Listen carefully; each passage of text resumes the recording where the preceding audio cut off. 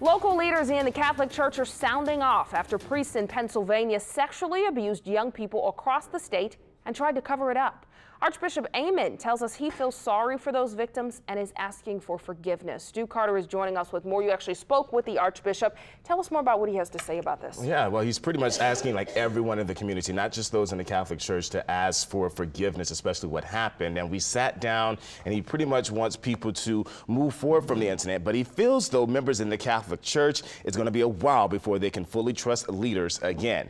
Now, Aymond says there is no justification to what happened to the young children. He says now he wants people to find it in their hearts to forgive leaders in the Catholic Church. He spoke at St. Louis Cathedral and offered an apology to the more than 1,000 children who have been sexually assaulted by priests and the fact that church leaders are accused of trying to cover that up. I am deeply, deeply sorry, uh, personally, and I speak for the whole church, especially for the leaders of the church, the bishops. We are indeed sorry. We apologize to the victims of sexual abuse what has happened to them is evil, it's sinful, it's not of God, and it should not have happened. There is no justification for the abuse taking place. Also, if priests were moved around, there is no, that, that's cover up.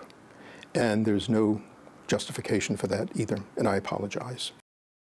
Now, there is a mass for victims on Tuesday, August 28th, and we're going to share more about that in about an hour from now. We're also going to share more what Aymond said about the case in about 30 minutes. So we had a very long conversation. He says he's truly sorry, as you just heard in that sound clip, and he just wants, you know, people in the church to at least try to move forward, but he knows it's going to take a while before that happens. Yeah, people are having a really difficult time with this just in light of how horrific these crimes were and the fact that the church allegedly covered them up. Mm -hmm, and the fact that this happened before in the past, too. Sure. All right. Thank you very much, Duke. And in